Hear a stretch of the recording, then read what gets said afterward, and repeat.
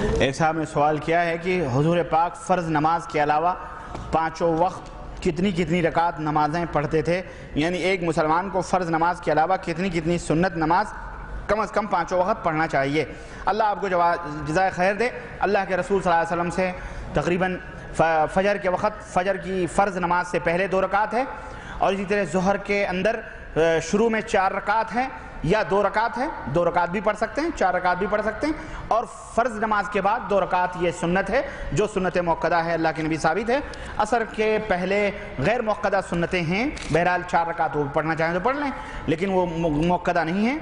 इसी तरह से मगरब से पहले दो रकात है, अगर पढ़ना चाहें तो पढ़ें, ना पढ़ना चाहें तो ना पढ़ें, लेकिन मगरब के बाद दो रकात सुन्नत मौक़दा है, ये अल्लाह के नबी पढ़ा करते थे। ऐशा के बाद भी दो रकात सुन्नत मौक़दा है। तो ऐशा में दो रकात, मगरिब में, मगरिब के बाद दो रकात, इसी तरह जहर में, जहर के बाद दो रकात और जहर से पहले दो रकात या चार रकात और इसी तरह से फजर में दो रकात। पहले तो ये सुन, ये सुन्नतों की तफसीलात हैं। इतनी पढ़नी चाहिए, अल्लाह जदाय खैर दे। चंद सवाल पेश खिदमत हैं। तबलीगी जमात को आप कुफर शिरक करने वाली कहते हैं। मगर ये जमात तो बहुत अच्छा काम कर रही है। आप किस बुनियाद पर इसको गलत कहते हैं? बर मेहरबानी तफसील से वाज करें। देखें इस ताल्लुक़ से तो मैंने बहुत कुछ वाज किया हुआ है और यकीनन कुफर शिरक वाली जमात, अब अब मैं आपको क्या बताऊँ? एक एक मिसाल में दे दूँ। अब अब मैं अब मैं मैं कुछ कहूँगा तो बुरा होगा। ये देखो, ये किताब है, हाथ में। तारीख़ मशाइ चिश्त इसके ऊपर क्या लिखा हुआ है? बरकतुल असर कुतुबुल आलम आरिफ बिल्ला शेखुल हदीस हज़रत मौलाना मोहम्मद जकरिया साहब। और वो जकरिया साहब कौन हैं? जिनकी किताब ये फ़ज़ाइल आमाल, फ़ज़ाइल सदक़ात, है ना? ये सब मैं लेके चलता हूँ, मुझे पता था, आज पूछा जाऊँगा मैं। ये फ़ज़ाइल आमाल, ये सब है, मुझे पता है। समझ रहे ये ये किताब है। अच्छा जनाब अली, आइए इसके हवाले से मैं एक एक एक मिसाल देता हूँ। मैं मैं ज़्यादा नहीं कहते हैं ना कि बाप, यानी अगर किसी के खानदान को देखना हो तो बाप को देख लो, पता चल जाएगा। है कि नहीं? तो जनाब अली, ये देखो, जकरिया साहब बाप हैं तबलीगी जमात के। इन किताबों को जो बांटे हुए हैं, इनका अकीदा मैं बताऊँ। ये देखो, अल्लाह आपको भला करे। ये कहते हैं, कहाँ है भाई? ये देखो। सफ़ा नंबर 234 है ना? जिसको यकीन आए, वो आके बाद में देख लेगा। कहते हैं कि हाफिज़ मोहम्मद जामिन शहीद उन्होंने मजम आम में अपना खलीफा बनाया और हम लोगों को भी मजाज किया। उसके बाद हज़रत बीमार हुए। आपने फरमाया, मुझे मेरे वतन झुंझाना ले चलो। जब लोहारी से आपकी पालकी थाना भवन पहुँची तो म्याना मस्जिद के पास ठहराया। हाजी इमदादुल्ला महाजिर मक्की, जो पूरे रशीद अहमद गंगोई, अशरफ अली साहब, थानवी, काजिम नानोत्री, इन सब के पीर आला हज़रत हैं। ये उनका बयान जकरिया साहब नोट कर रहे हैं, क्योंकि इनके पीर हाफिज़ मोहम्मद जामिन शहीद थे। उनका वाक़ ज़िक्र कर रहे हैं हाजी इमदादुल्ला महाजिर मक्की के हवाले से। तो हाजी साहब जो थे, वो अकेले थे। उन्होंने हज़रत का, हज़रत की चारपाई पकड़ करके कहने लगे कि जब हज़रत ने फरमाया कि अब तो मेरा प्याम सफ़र आखरत आ गया है, अब मैं मरने वाला हूँ तो हज़रत ने उनकी पालकी पकड़कर हज़रत रोने लगे। हज़रत हाजी इमदादुल्ला महाजिर मक्की जो पीर हैं, वो रोने लगे। तो हज़रत ने तसल्ली दी, फरमाया, फ़कीर मरता नहीं, फ़कीर मरता नहीं, बल्कि एक मकान से दूसरे मकान में इंतकाल करता है। फकीर की खबर से वही फ़ायदा होगा जो जाहिरी ज़िंदगी में होता था। सुनो, ये खबरों के पुजारी तुम समझते हो बेचारे वो खान साहब लोग हैं बरेली शरीफ के? अरे, ये शेख लोग भी हैं, ये शेख सिद्दीकी लोग हैं। उधर खान साहब हैं, इधर शेख लोग हैं। खान और शेख और पठान की लड़ाई है ये बीच में, और कुछ नहीं, ये दोनों सब एक हैं। सुनो, आगे सुनो, आगे। कहते हैं, बहरहाल वो मर गए, दफन करवर दिया गया।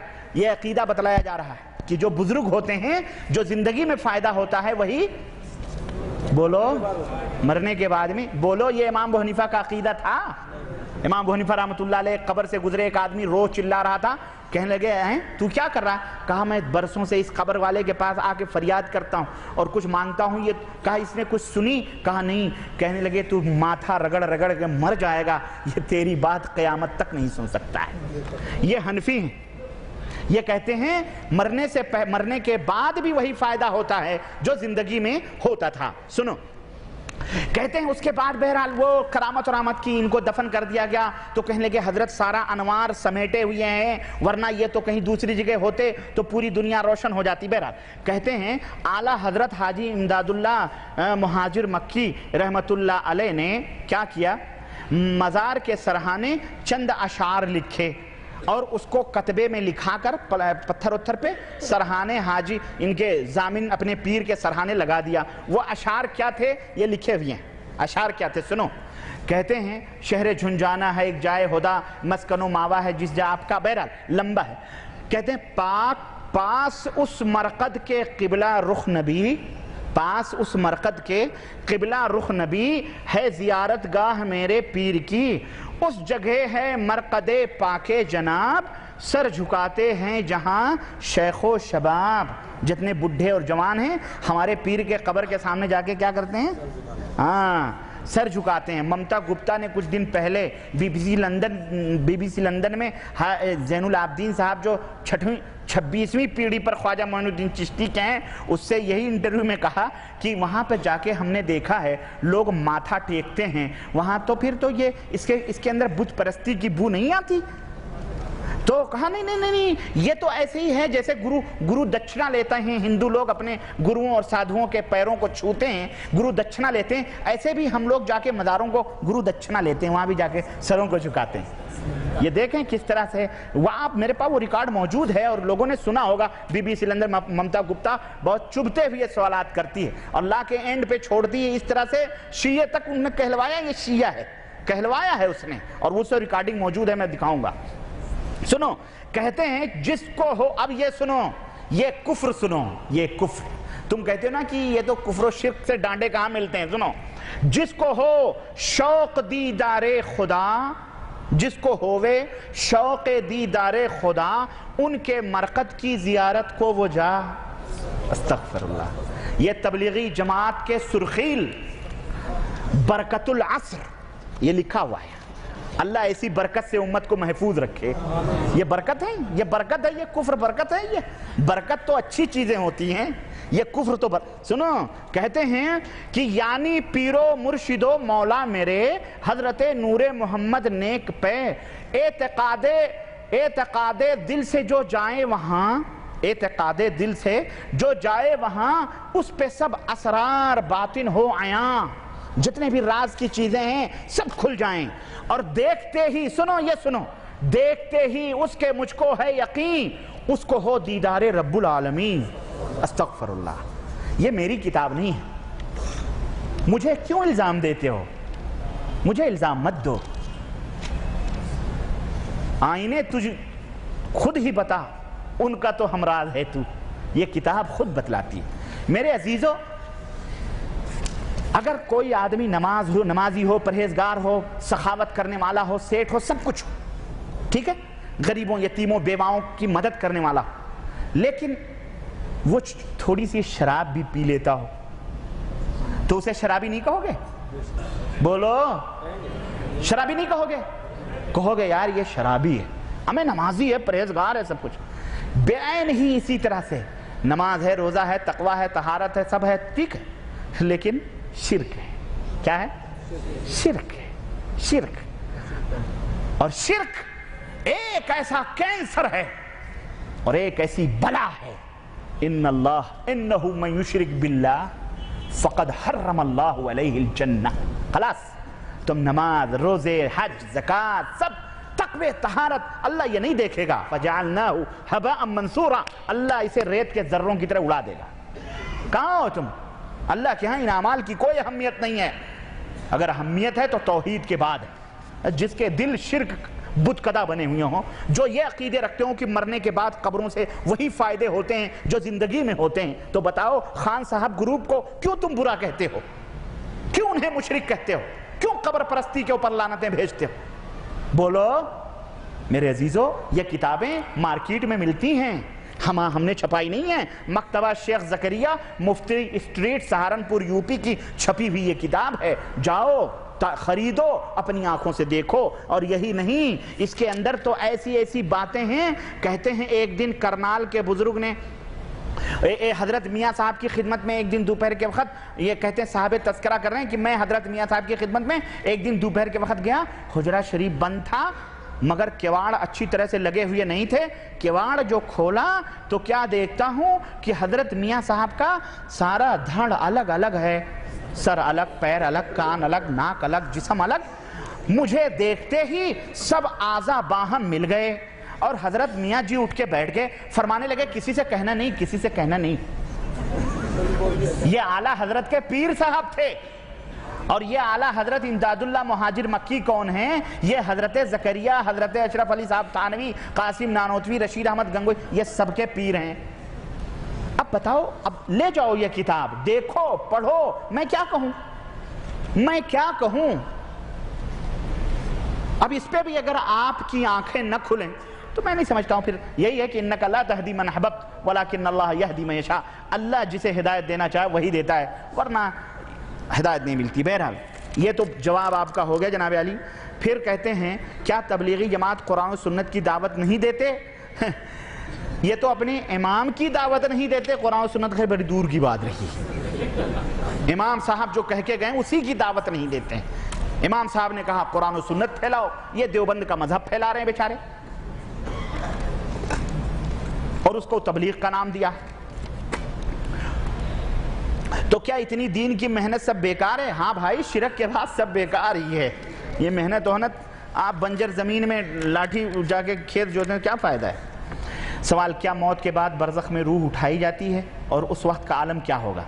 मौत के बाद बरज़ख में रूह उठाई जाती है, लौटाई जाती है। बेशक अल्लाह के रसूल सल्लल्लाहु अलैहि वसल्लम से साबित है कि वो रूह लौटाई जाती है। उस वक्त का आलम क्या होगा, यह हमें नहीं मालूम है क्या होता है। ना हमें अल्लाह के नबी ने बतलाया है, ना अल्लाह ने बतलाया है। अल्लाह के नबी ने बतलाया कि जब जब मरता है आदमी तो रूह लौटाई जाती है। फरिश्ते सवाल जवाब करते हैं, इतना हमें मालूम है, इससे ज़्यादा हमें मालूम नहीं।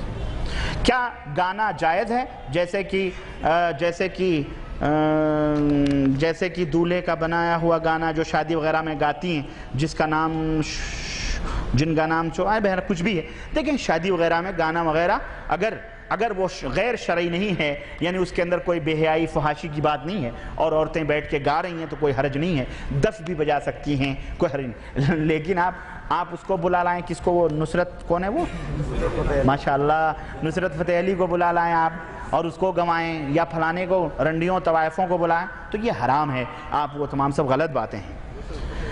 जब किसी घर में किसी फ़र्द का इंतकाल हो जाता है तो लोग चार दिन पर चहारों करते हैं, चालीसवें करते हैं, क्या ये सही है? नहीं। ये नबी करीम वसल्लम से साबित नहीं है, और ना ही इमाम अबू हनीफ़ा अलैह से साबित है। अगर हनफी हैं तो इनको छोड़ देना चाहिए, क्योंकि इमाम साहब से साबित नहीं सवाल, जैसा कि बहुत से लड़के लड़की की शादी होती है, उसी दौरान किसी लड़की को हैज़ शुरू हो जाए तो क्या इस हालत में निकाह पढ़ाया जा सकता है या नहीं? मेहरबानी करके हमें हदीस की रोशनी में बताएँ। देखें, निकाह पढ़ाया जा सकता है, कोई हरज नहीं। अलबत् ऐसी सूरत में वो शोहर अपनी बीवी से करीब नहीं होगा, जमा नहीं करेगा, क्योंकि ये हराम है। अल्लाह के रसूल वसल्लम ने मना फरमाया, खुद अल्लाह ने भी मना फरमाया। एक शख्स है जो का जो कि पढ़ा लिखा है, और वो अल्लाह ताला को गाली देता है तो उस पर क्या कफ़ारा होगा? अगर वो अल्लाह को गाली देता है तो भाई उसको अल्लाह से तौबा करना चाहिए। वो मुर्तद है फिर, वो तो काफिर है। उसको तौबा की यहाँ तो नबी को कोई तोहन कर दे तो वो काफिर हो जाता है, वो तो अल्लाह को गाली दे रहा है। तो बहरहाल उसको तौबा करना चाहिए और उसको सही ईमान की अपने तजदीद करनी चाहिए। जब आदमी फौत हो जाता है तो उसके लिए हाथ उठाकर दुआ करना जायज़ है कि नहीं? बेशक जायज़ है, कोई हर्ज नहीं है उसमें। आप हाथ उठा के दुआ करें, ऐसे भी दुआ करें, कोई हर्ज नहीं। इस मसले का कुरान हदीस की रोशनी में जवाब दें क्या रजब के कूडों की दावत में जाना चाहिए जो बिल्कुल बिदात हैं? हरगिज़ नहीं जाना चाहिए क्योंकि ये सब जो है ये जाफ़र सादिक के कूड़े भरे जाते हैं और ये नाम जाफ़र सादिक का ख़तान इसका इस्लाम से कोई रिश्ता और ताल्लुक़ नहीं है। हम्म, बल्कि ये जो है ना सत्यनारायण की जो कथा होती है हिंदुओं के अंदर वही सत्यनारायण की तरह इन्होंने भी बनाया हुआ है। तो ये तमाम सब बिदात और काफिरों से मुशाबहत है। इसलिए इसके खाने होने में शरीक नहीं होना चाहिए और ना ही इसमें हाजिर होना चाहिए। कुरान अच्छा मेरा एक दोस्त है, फ़र्ज़ नमाज़ के बाद हमेशा सुन्नत नमाज़ नहीं अदा करता है मगर मस्जिद में बेकार बैठा रहता है और उसके पास वक्त भी रहता है, मगर सुन्नत नहीं पढ़ता तो उसके लिए क्या हुक्म है? उसे आप नसीहत करें कि तू सुन्नतों को अदा कर ले, उसके बाद फुर्सत से बैठ, बहरहाल वो गलत कर रहा है, समझ रहे हैं? और अगर वो बराबर छोड़ रहा है तो वो गुनहगार है। इमाम साहब, जब सूर्य फातिहा पढ़ते हैं तो इमाम के पीछे नमाज़ पढ़ने वालों को आमीन ज़ोर से कहना चाहिए या नहीं? बेशक कहना चाहिए, क्योंकि अल्लाह के रसूल सल्लल्लाहु अलैहि वसल्लम की सुन्नत है ये और सहाब कराम की भी ये सुन्नत है। फ़र्ज़ कीजिए मैंने किसी से एक हज़ार रुपये किसी काम के लिए, कुछ मुद्दत के लिए उधार लिए। अगर मेरा काम पाँच हज़ार रुपये में, पाँच